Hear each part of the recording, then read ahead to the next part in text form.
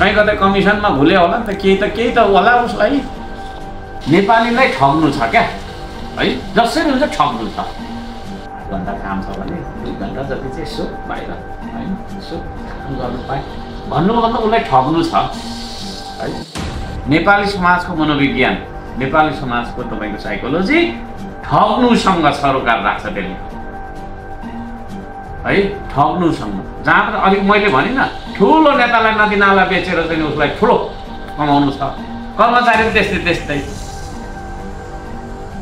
तपाईँको पैसाको भागभन्डा नपाउनेलाई पनि उसलाई के गर्नु छ त भन्दाखेरि कहीँ कतै छलिनु छ।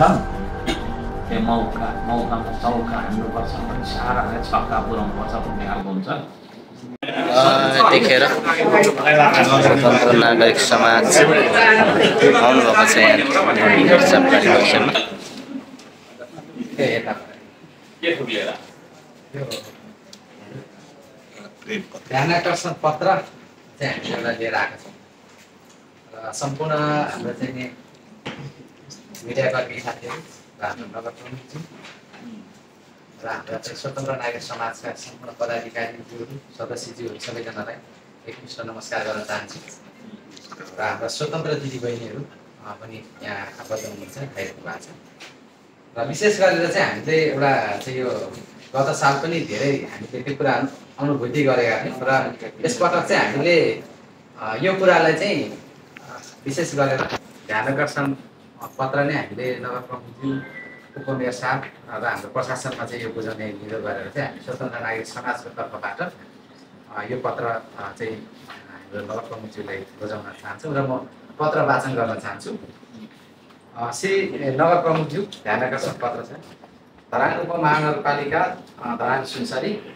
प्रस्तुत विषयमा आउँदै गरेको चाडपर्वलाई लक्षित गरी ठुलादेखि साना व्यापारी गर्ने व्यवसायहरूले आफ्नो स्वेच्छा अनुसारको विभिन्न खाद्य वस्तु मासु मांस लत्ता कपडा सागसब्जी जस्ता दैनिक मानवीय जीवनसँग प्रत्यक्ष सरकार राख्ने वस्तुहरूमा मूल्य वृद्धि गरेकोले अत्याधिक जनगुनासो आउनका साथै सम्पूर्ण धरानवासीहरूलाई अहिले आर्थिक मन्दीको अवस् अवस्थामा प्रत्यक्ष असर परेको हुनाले यस विषयमा आर्थिक माथि स्वतन्त्र यस विषयमाथि स्वतन्त्र नागरिक समाज नगर समितिको गम्भीर ध्यान आकर्षण भएको छ। अनावश्यक रूपमा चाडपर्वका नाममा मूल्य वृद्धि हुँदा परिवारले आफ्नो खर्च कटाउन बाध्य हुन्छ जसले जीवन स्तरमा गिरावट आउँछ। साथै गरिब र मध्यम वर्गका लागि जीवन स्तर जिउन अत्यन्तै कठिन हुन्छ जसले सामाजिक असमानता बढाउँछ।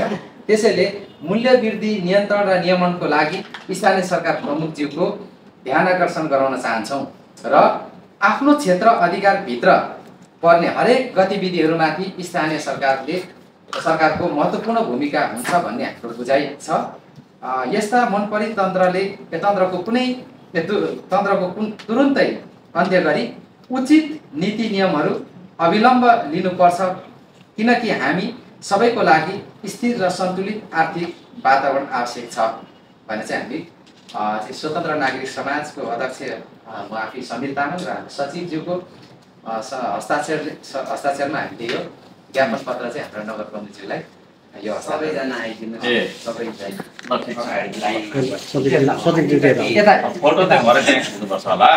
ए सबै चाहिँ ल ठिक छ अगाडि लाइन यता फोटो त्यहाँ भएर त्यहाँ खिच्नुपर्छ होला ल ल भयो थ्याङ्क यू ल बसौँ केही बोल्छु होला मैले होइन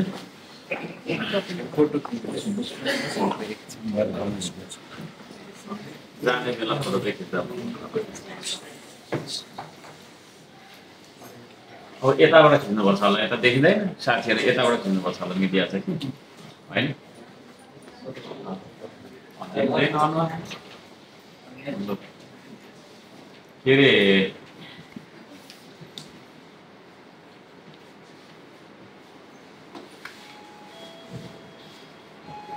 त्यो फ्यान मार्नु है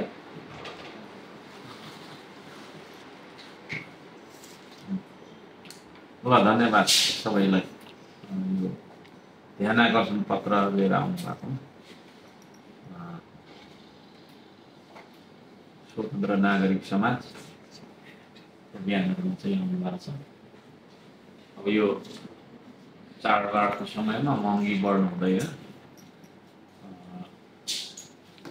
अब जे चलिराखेको छ त्यो त चलि नै राखेको छ होइन दस रुपियाँमा पाउँदै गरेको सामान पाँच रुपियाँमा माग्नु त मिलेन तर पनि दस रुपियाँमा चल्दै गरेको सामान पन्ध्रमा बेच्नु हुँदैन भन्नु खोज्नु भएको जस्तो लाग्छ मलाई होइन यही हो चौका ए मौका मौकामा चौका हान्नुपर्छ अनि सारा हाने छक्का पुऱ्याउनुपर्छ भन्ने खालको हुन्छ। हाम्रो नेपाली समाज चाहिँ प्रायः त्यस्तो त्यस्तो छ। अब अलिकति बुझ्नु है। हाम्रो देश किन पछि पर्यो भन्दाखेरि मैले फेरि मेरो कहानी सुरु गरेँ। अलिकति सुन्नै पर्छ। हामी इमान्दार छैनौँ। नेपालीहरू इमान्दार छैनौँ। है? खोइ कहिलेदेखि यस्तो बन्यो? होइन? राम्रो सुन्नु ल। नेताहरू इमान्दार हुँदैन होइन? कर्मचारी इमान्दार हुँदैन होइन? फेरि समाज पनि पो इमान्दार हुँदैन व्यापारी पनि इमान्दार हुँदैन। हामीले इमान्दारी नहुनु भनेको हाम्रो देशपछि भयो।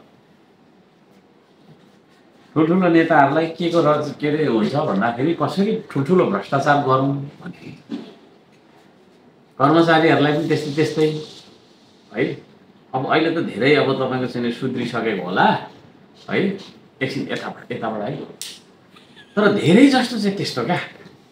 राजनीति गर्नेहरूको कमाउनुको होइन पावर र पैसा एक्सर्साइज गर्नको लागि। राजनीति गर्ने भनेको खासमा सेवाको लागि है। तर राजनीति गर्ने भने पैसा कमाउने र पावर हत्याउने कुर्सीको खेल। अनि नेताले चाहिँ के सोचिराख्दो रहेछ जेनरली भन्दाखेरि सबै त भन्दिनँ म सबैलाई त भन्दिनँ। तर सामान्यतया चाहिँ के सोच्दो रहेछ भन्दाखेरि कसरी ठुल्ठुलो भ्रष्टाचार गर्नु? कर्मचारीलाई पनि कसरी चाहिँ यसो कमिसन समिसन? खाउँ कमिसन समिसन नपाउनेले पनि कसरी दुई घन्टा जति चाहिँ यसो छलेर ठगेर बस्नु होइन? काममा आठ घन्टा काम छ भने दुई घन्टा जति चाहिँ यसो बाहिर होइन? यसो काम गर्नु पाएँ। भन्नुको मतलब उसलाई ठग्नु छ। है? त्यसले गर्दाखेरि चाहिँ के छ भन्दाखेरि मैले किन यो भन्दैछु भन्दाखेरि यो पनि त ठगीकै कुरा लिएर आउनुभयो है? मौकामा हिरा फोर्नु बेमौकामा कौडी नसोड्नु भन्ने एउटा उखान त्यो उखान चाहिँ नेपाली समाजले साह्रै बुझ्यो जस्तो लाग्छ। नबुझ्दा हुन्थ्यो होइन?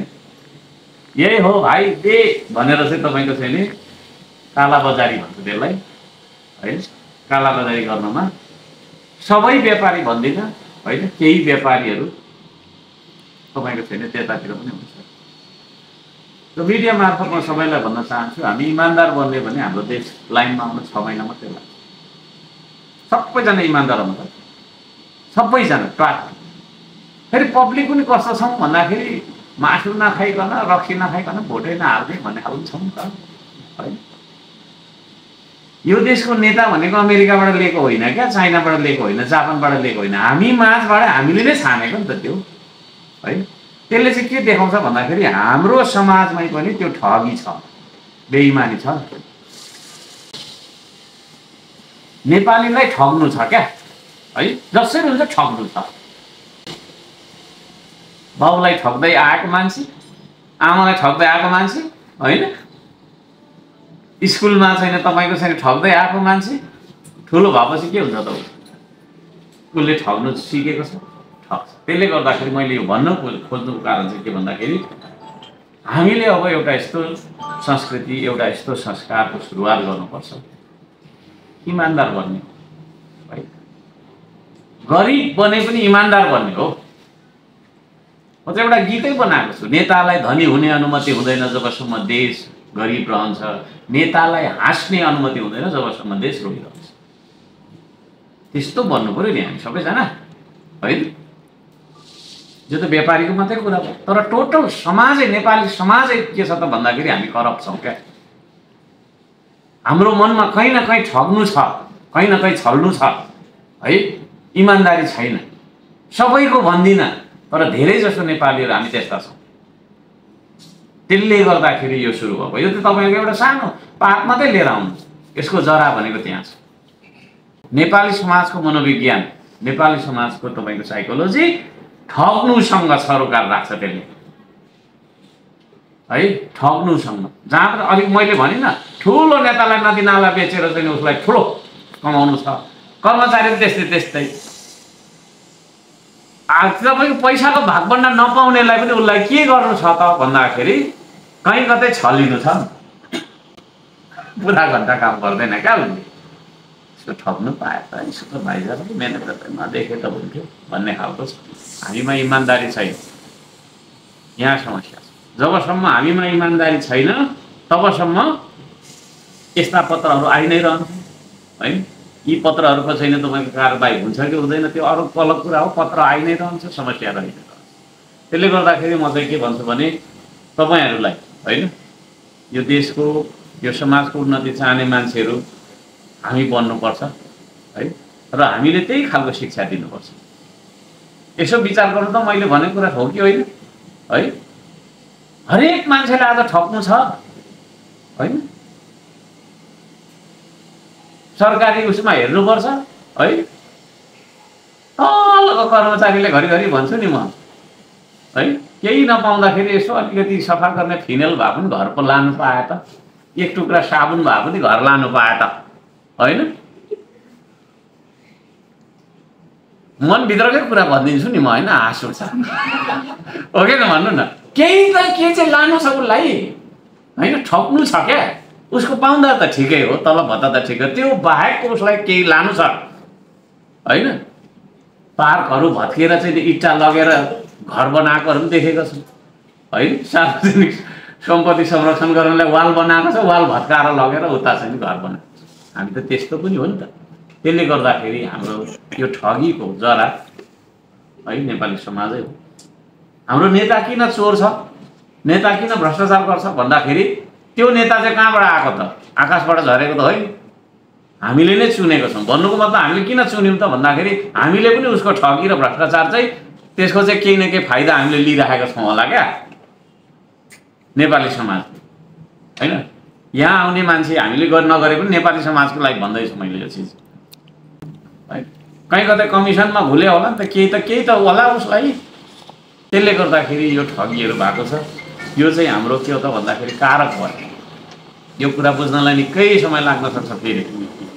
तर अब यो तत्काल के गर्ने दसैँ तिहारमा भन्ने कुराको लागि चाहिँ अब हाम्रो बजार अनुगमन हुन्छ। होइन? र बजार अनुगमन नगरपालिकाले मात्रै गरेर पनि हुँदैन। नगरपालिकाले मात्रै गरेर हुँदैन। मिडियाले गर्नुपर्ने हुन्छ होइन? नागरिक तपाईँको सचेत नागरिकले गर्नुपर्ने हुन्छ है तपाईँ हामीले पनि तपाईँको चाहिँ नि बिस रुपियाँमा पाउँदै गरेको पानी एक्कासी पचास रुपियाँ भन्नु थाल्यो भने त्यहाँ ठगी छ। अथवा के भयो त त्यो होइन? त्यहाँ सोध्नुपर्ने हुन्छ।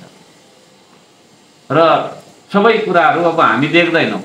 यो अफिसमा बसिन्छ होइन? अब सबै कुरा कहाँ के हुँदैछ बुझिँदैन। त्यसले गर्दाखेरि यहाँहरूले देखाउनु पनि पऱ्यो यस्तो भइरहेछ यहाँ यस्तो भइरहेछ भनेर फेरि सप्रमाण ल्याउनु पऱ्यो कुरा चाहिँ। त्यस्तो सुनेको थिएँ भानुचोकमा यस्तो गर्छ अरे भन्ने किसिमले चाहिँ ल्याउनु भएन होइन? त्यो खै सहितको आयो भने हामी तत्काल कारवाही गर्छौँ है? र मलाई चाहिँ यो मामिलामा एकदम सजिलो पनि छ कारवाही गर्नको लागि। यो चिज छ र धन्यवाद दिन चाहन्छु सबै दाजुभाइ दिदीबहिनीहरूलाई यो ध्यान आकर्षणको लागि यो त प्रशासनमा लगेर दर्ता गराउनुहोस् होइन? र प्रशासनमा छोडिदिइराख्नुहोस् र त्यो अनुसारको निगरानी त्यो खा त्यो अनुसारको बजार अनुगमनमा हामी सबैजना उपभोक्ता भएको कारणले होइन कन्ज्युमर राइट्स भन्छ। अब विदेशमा चाहिँ एकदम राम्रो त्यसको परिपालना हुन्छ के अरे होइन? भन्ने सुन्छु। म पनि विदेशमा त बसेको त छैन त्यस्तो। तर हाम्रो देशमा चाहिँ परिपालना किन हुँदैन त भन्दाखेरि हामी चाहिँ त्यही हो क्या। मैले यस्तो गर्दाखेरि बा मेरो समर्थक पो रिसाउँछ कि बा मेरो भोटर पो रिसाउँछ कि होइन? बा मेरो हाकिम पो रिसाउने हो कि? त्यो भएर पनि बिग्रेको। गलतलाई गलतै भन्नु पऱ्यो होइन? सहीलाई सही भन्नु। यो रङ हो भन्नु पऱ्यो होइन? र त्यो अनुसार काम गर्नु। त हाम्रोमा चाहिँ अनुगमन हुन्छ ए साथीको दोकान ए साथीको दोकान ए बिच्किहाल्छ नि होइन के को साथी दोकाने दोकाने साथी ठाउँमा छ होइन हो कि नभन्नु त्यसरी जानु पऱ्यो यहाँ हामीमा पनि थुप्रैको दोकान होला आज होइन भोलि हाम्रो अनुगमन टोलीले चाहिँ ट्याक्कसँगले आउँदाखेरि ट्याक हुनु पऱ्यो होइन त्यस्तो खालको चाहिँ तरिकाले हामी जानुपर्छ कसै न कसैको केही न केही त पेसा व्यवसाय त छ नि त हाम्रो पनि छैन र है यहाँ आउनुहुने दाजुभाइ दिदीबहिनीहरूको पनि होला त्यहाँ पनि अनुगमन ट्र्याक्क आउँदाखेरि उसलाई है स्याट देखाउनुपर्छ हामी सबैले। त्यो जिम्मेवारी यसरी जानुपर्छ र अनुगमन गरेर